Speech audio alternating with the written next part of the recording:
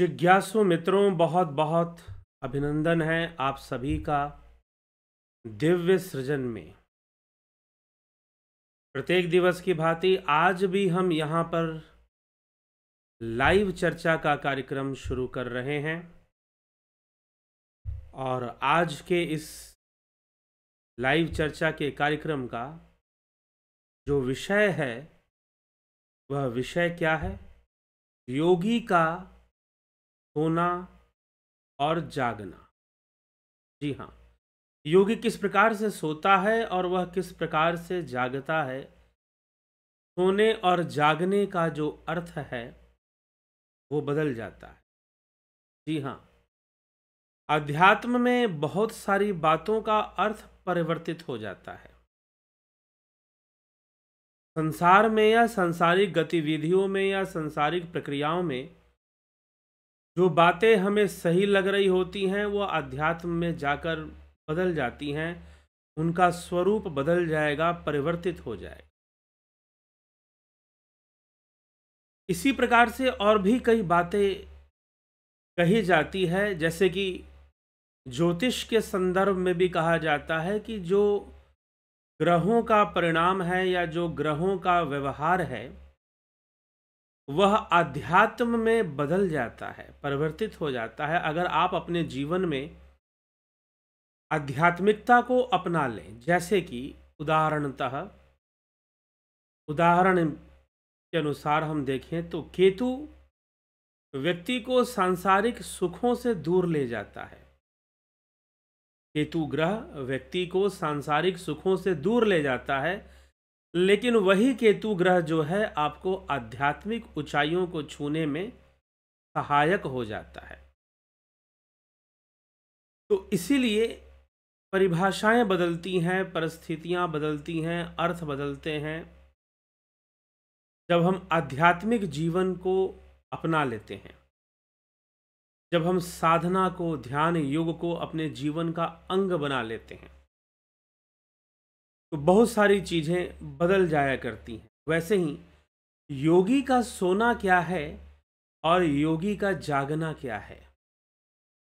वास्तव में सोने का दो अर्थ है। एक सोना है, जो हम शरीर का शरीर का नींद सोते हैं हम, जहाँ पर हमारी इंद्रियाँ सो जाती हैं। और एक सोना है माया की नींद में, शरीर के नींद में नहीं, बल्कि माया के नींद में एक सोना है। तो भगवान श्री कृष्ण श्रीमद भगवद गीता में स्थित प्रज्ञ व्यक्ति के स्थित प्रज्ञ महापुरुष के लक्षण बता रहे हैं। और उसी के अंतर्गत स्थित प्रज्ञ व्यक्ति महापुरुष या योगी, उसका सोने और जागने से क्या संबंध है, उसको समझाने का प्रयास आगे श्री कृष्ण करते हैं। तो क्या कहते हैं हम उस पर ज़रूर थोड़ा विचार आज कर लेते तो भगवान श्री कृष्ण उनहत्तरवें श्लोक में श्रीमद् भगवद गीता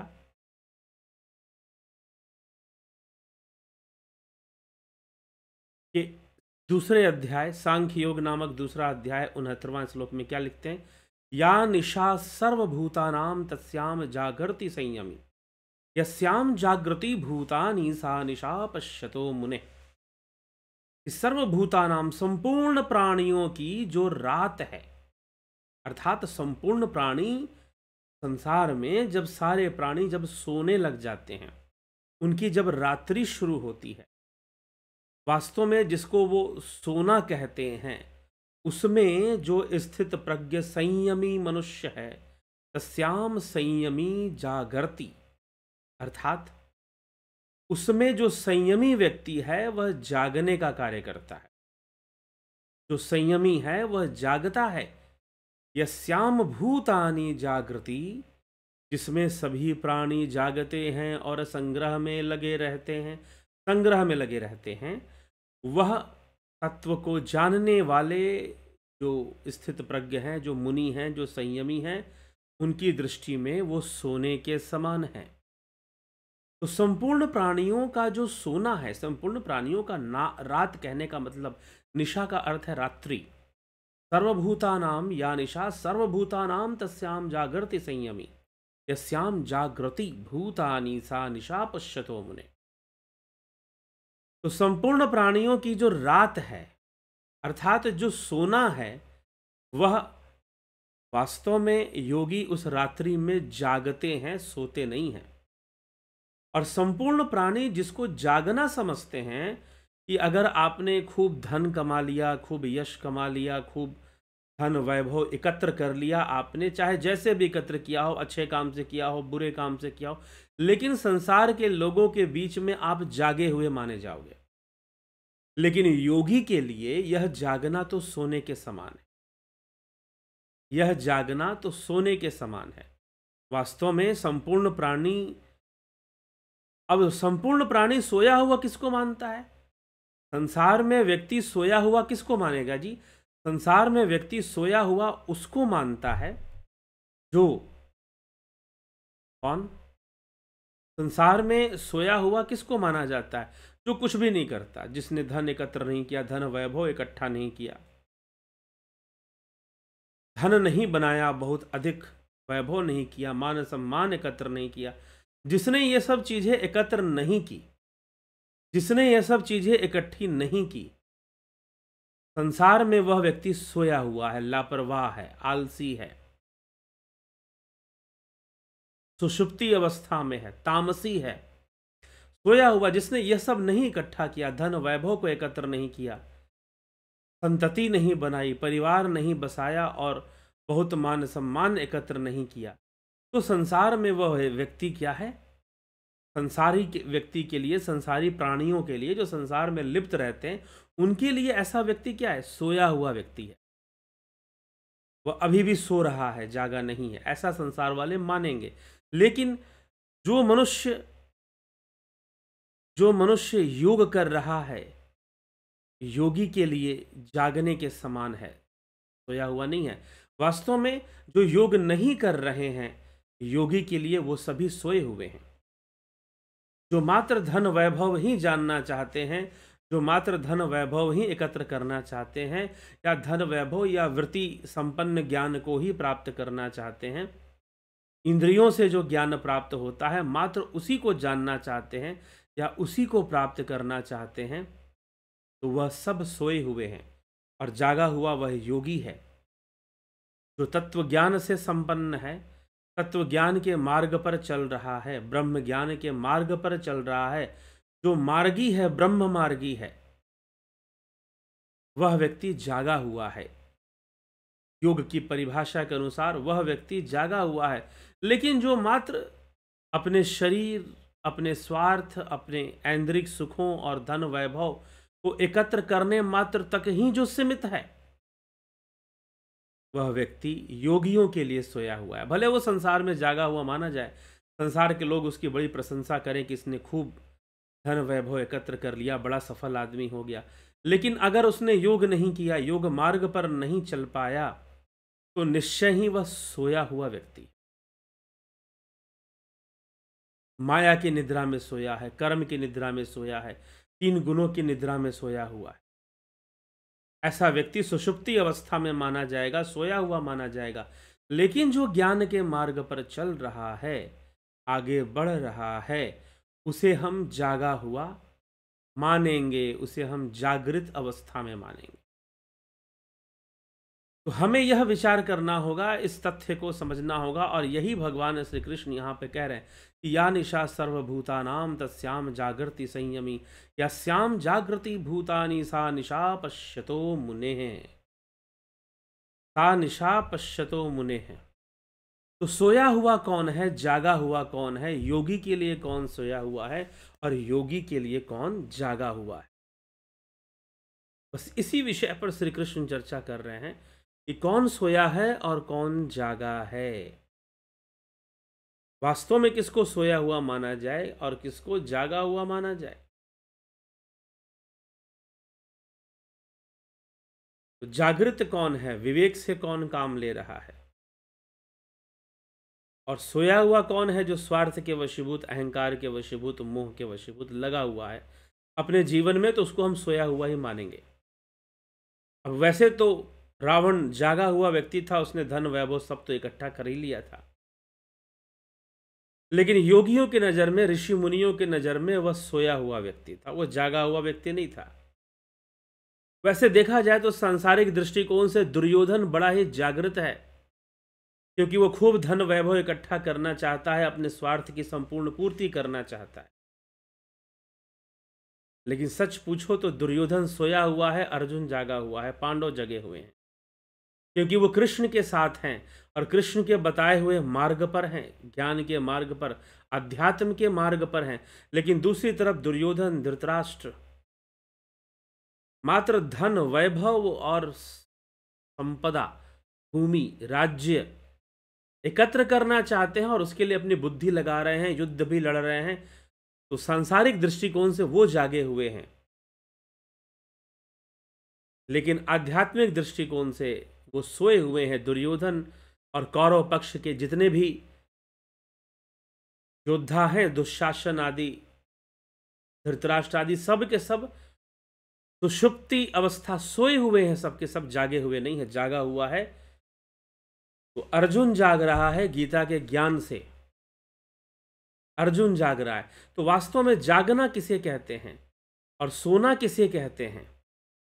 जब आप अत्यधिक माया में लिप्त रहेंगे तो फिर उसे सोना ही कहा जाएगा। माया की निद्रा में आप सो रहे हैं। और यदि आप योग के मार्ग पर चल रहे हैं तो आप जाग रहे हैं, क्योंकि मनुष्य जीवन की प्राप्ति इसी योग की प्राप्ति के लिए हुआ है। नहीं तो आहार, निद्रा, भय, मैथुन तो सभी जीव कर ही लेते हैं। आहार निद्रा भय मैथुनम च समानमेत भी नरमान धर्मो ही तेषाम अधिको विशेषु। धर्मेन हीन पशु भी समान। जो धर्म से हीन है, वह निश्चय ही पशु है। तो धर्मवान होकर व्यक्ति को कर्म करना चाहिए, ज्ञान के मार्ग पर चलना चाहिए।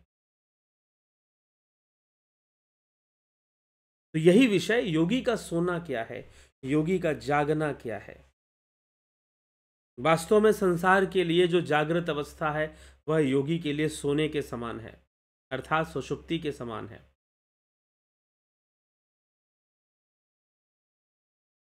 लेकिन संसार जिस, किसको सोया हुआ माना है, जो धन वैभव संपदा के प्रति, राज्य के प्रति, धन वैभव के प्रति, स्वार्थ के प्रति जो व्यक्ति जागृत नहीं है, वो सोया हुआ है संसारी लोगों के लिए। योगी के लिए सारी परिस्थितियाँ विपरीत हैं, योगी के लिए सारी परिस्थितियाँ उल्टी हो जाती हैं। बस यही महत्वपूर्ण विषय है कि योगी के लिए सारी परिस्थितियाँ बदल जाती हैं, योगी के लिए सारी परिस्थितियाँ उल्टी हो जाती तो इसलिए आध्यात्मिक जीवन जो है, वह थोड़ा सा विपरीत होकर चलता है। किसके विपरीत होकर चलता है? सांसारिक जीवन के। सब मामले में विपरीत है, ऐसा नहीं है, लेकिन फिर भी ज़्यादातर मामलों में आध्यात्मिक जीवन विपरीत है। इसलिए ज्योतिष में कहते हैं कि आध्यात्मिक जीवन को जब आप अपना लेते हैं तो ग्रहों की चाल भी बदल जाती है। ग्रह अलग परिणाम देना शुरू करेंगे, अलग ढंग से परिणामित करेंगे। यह भी देखने को प्राप्त हो। इसीलिए जीवन बदल जाता है, प्रभाव बदल जाते हैं। इसीलिए कई ग्रहों के उपाय के लिए आपको साधना करने के लिए कहा जाता है, मंत्र जाप करने के लिए कहा जाता है। कर्मों को सही करने के लिए कहा जाता है। कि आप निश्चय ही लाभ उठाएँगे, लेकिन अपने कर्मों को तो सही कर लीजिए। अपने कर्मों को तो उत्कृष्ट कर लीजिए। तो जो भी ग्रह आपके बिगड़ रहे हैं, वो भी अच्छा फल आपको देंगे, प्रदान करेंगे। यह सारी बातें, यह सारे विचार आपको करने हैं।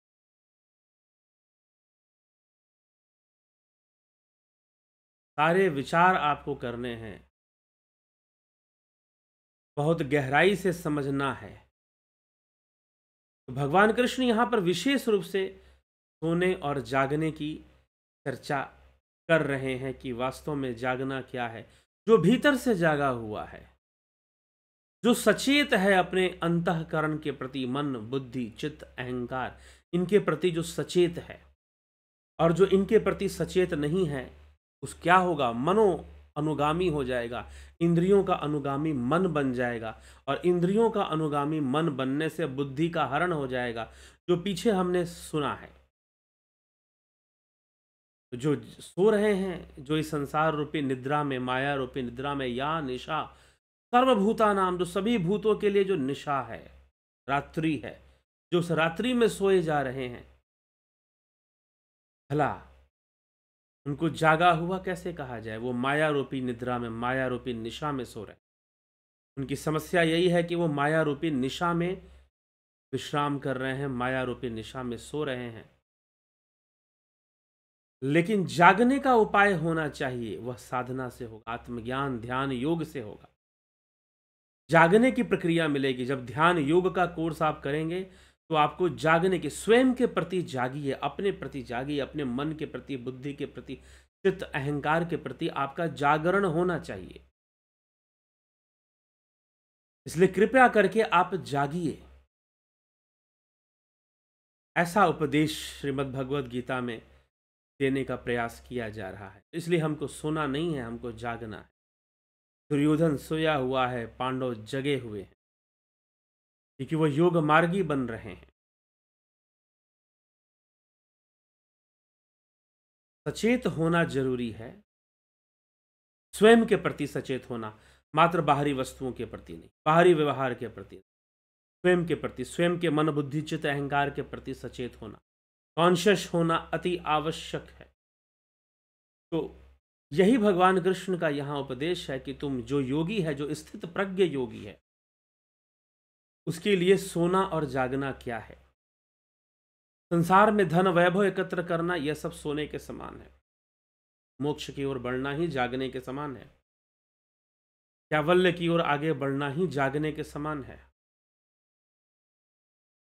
तो हमें जागने की प्रक्रिया को भी भली भांति समझना चाहिए। जागने का जो तरीका है, जो मार्ग है, उसको भी अच्छे से समझना चाहिए। नहीं तो बहुत भारी गलती भी हो सकती। इसीलिए एक प्रॉपर वे में यहाँ पर आपको ध्यान योग का कोर्स चलता है। यह जागने की प्रक्रिया है। यह ध्यान योग का कोर्स क्या है? यह जागने की प्रक्रिया है। जागृत होने की प्रक्रिया है। तो यह कोर्स ऑनलाइन कोर्स यह चलता है। बीस दिसंबर से शुरू हो रहा है, लेकिन कई लोग प्रश्न करते हैं कि भला ध्यान योग आप ऑनलाइन कैसे सिखाएँगे?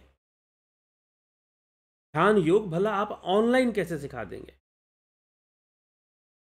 तो उसी के लिए आपको नहीं समझ में आ रहा कि ऑनलाइन क्या होगा, कैसे होगा तो एक फ्री डेमो क्लास रखा गया है, फ्री डेमो क्लास। जी हाँ। चौदह दिसंबर को फोर्टीन ऑफ़ दिसंबर 2022 2022 तो फोर्टीनथ ऑफ़ दिसंबर को शाम को साढ़े छः बजे आपको यह कार्यक्रम है। तो यह जो डेमो क्लास जो हुआ है, जो इसलिए रखा गया डेमो क्लास इसीलिए रखा गया ताकि लोग समझ सकें कि यह कार्यक्रम ऑनलाइन मीडियम से कैसे चलेगा। जिन्होंने डेमो क्लास ज्वाइन कर लिया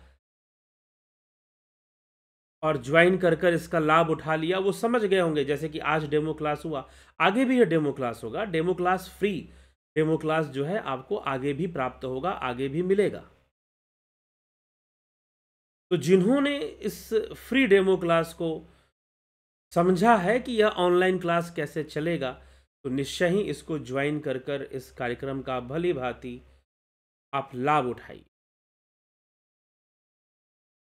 ध्यान योग का कोर्स ज्वाइन कर कर, उसी प्रकार से ध्यान योग का जब हम कोर्स ज्वाइन करेंगे तो हम स्वयं के प्रति जागृत होना सीख जाएँगे, अपने प्रति। साथ ही शरीर के बेहतर स्वास्थ्य के लिए इम्यूनिटी पावर को डेवलप करने के लिए, रोगों से लड़ने की क्षमता को विकसित करने के लिए ज़रूरी है प्राकृतिक चिकित्सा को भी जानना और समझना। प्राकृतिक चिकित्सा का भी कोर्स आप 20 तारीख से ज्वाइन कर सकते हैं। तो 20 तारीख 20 दिसंबर से यह कोर्स शुरू होगा। Duration one month. Guided meditation, transcendental meditation, spiritual healing, ये सारी चीज़ें आपको इसमें सिखाई जाएँगी ध्यान योग के कोर्स में। प्राकृतिक चिकित्सा में भी बहुत सारी क्रियाएँ होती हैं। हाइड्रोथेरेपी होती है, जल की क्रियाएँ होती हैं कुछ, जिससे कि उपचार किया जाता है। उन सभी जल से, अग्नि से प्राकृतिक शक्तियों का प्रयोग किया जाता है, प्राकृतिक रूप से किया जाता है। यही प्राकृतिक चिकित्सा की विशेषता है कि प्राकृतिक शक्तियों का प्रयोग बीमारियों को ठीक करने में प्राकृतिक रूप से किया जाए। यह नहीं कि किसी दूसरे रूप से किया जाए। तो प्राकृतिक चिकित्सा के इस विषय को भली भांति भी हमें निश्चय रूप से हमें समझना चाहिए प्राकृतिक चिकित्सा के इस रूप को। कोर्स उसके लिए भी ज्वाइन कर सकते हैं। स्वास्थ्य वर्धक कोर्स है। बीमारियों को दूर करने वाला कोर्स है। ठीक? लेकिन यह ध्यान योग मन का रोग दूर करता है। यह जागना सिखाता है, यह सोना नहीं सिखाता है। तो निश्चय ही हमें इन कोर्सेज का लाभ उठाना चाहिए और जागृत होकर इन कोर्सेज के प्रति जाग कर ही हम आगे बढ़ सकते हैं। और बहुत सारे जीवन के देखिए, बहुत सारे पक्ष हम शुरुआत में ध्यान नहीं देते, बाद में समझ में आता है कि हमें जीवन में इस पक्ष पर भी ध्यान देना चाहिए था। तो कई बार हम अध्यात्म को बहुत हल्का पक्ष मान लेते हैं और सोचते हैं कि नहीं भी अध्यात्म को जानेंगे तो जीवन अच्छा बीत जाएगा, जी नहीं। बहुत सारे मन में प्रश्न होते हैं लोगों को अपने जीवन को लेकर। वह बिना ध्यान योग के, बिना आध्यात्मिक मार्ग को अपनाए। बिना आध्यात्मिक मार्ग को अपनाए। जब तक आध्यात्मिक मार्ग को नहीं तो यह जीव जगत, यह जीव, यह सो ही रहा है। निद्रा में ही अपना जीवन व्यतीत कर रहा है। वह जागृत अवस्था में है ही नहीं, यह मानना पड़ेगा। इसी के साथ जिज्ञासुओं हमें जागना है तो यह ध्यान योग और प्रैक्टिकल स्पिरिचुअलिटी देखिए, जो भी आप सुनते हैं वो थ्योरी है, जो भी आप पढ़ते हैं वो थ्योरी है, लेकिन प्रैक्टिकल स्पिरिचुअलिटी क्या है, जब आप अपने आप को साधना के मार्ग पर, योग ध्यान के मार्ग पर, ध्यान योग के मार्ग पर, योग साधना के मार्ग पर उतार देंगे तो फिर जाकर वह प्रैक्टिकल होगा। तो प्रैक्टिकली हमको सीखना, समझना पड़ेगा कि ध्यान योग कैसे है और जागना कैसे पड़ता है? कैसे हम जागृत हो पाते हैं? तो यह भी हमें जान पाएँगे। तो यह प्रैक्टिकल अध्यात्म से ही संभव है। तो 20 दिसंबर से यह कार्यक्रम शुरू हो रहा है। तो निश्चय ही आप इससे लाभान्वित हो। लाभ उठाएँ। अपना कल्याण करें, समाज का भी कल्याण। तो जिज्ञासु इसी के साथ हम विराम देंगे। आज के विचारों को बहुत बहुत आभार आप सभी का। कल फिर मिलेंगे 9 पीएम लाइव चर्चा में। ओम तत्सत।